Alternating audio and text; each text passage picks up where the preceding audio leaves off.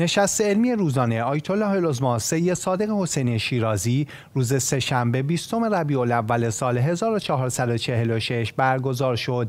در این نشست همچون جلسات پیشین ایشان به سالهای حاضران در جلسه پیرامون مسائل مختلف فقهی پاسخ دادند. آیت الله العظما شیرازی در رابطه با برخی از تفاوت‌های حق الله و حق الناس فرمودند اگر انسانی از روی عمد و یا از روی خطا و اشتباه فردی را بکشد باید خود او و یا دیگران از طرف او دیه بدهند چرا که پرداخت دیه حق است. اما اگر کسی مثلا شراب بخورد بهتران است که توبه کند و لازم نیست خود را معرفی کند. یعنی از ادله استفاده نمی شود که اگر کسی که گناهی مرتکب شده و حق مردم به گردن او نیست لازم باشد که خود را معرفی کند.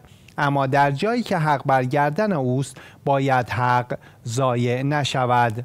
معظم الله در ادامه فرمودند در حق الناس تصریح شده که نبایستی ضایع شود اما در حق الله چنین دلیلی وجود ندارد.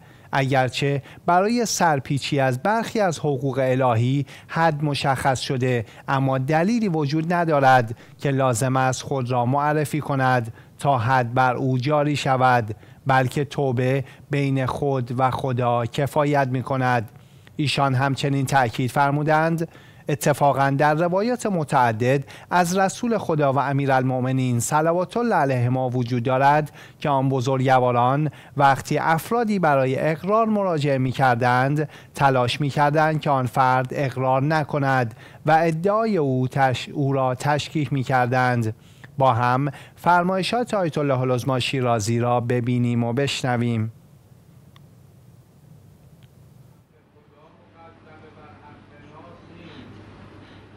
مطلقا نمیگیم. نمیگیم مطلقا مقدمه نمیگیم مطلقا مقدم تابع دلیل مثل همین جور مورد. یه نفر شراب خورده حق خدا گردنشه. حد. یه نفر آدم کشته قصاص گردنشه.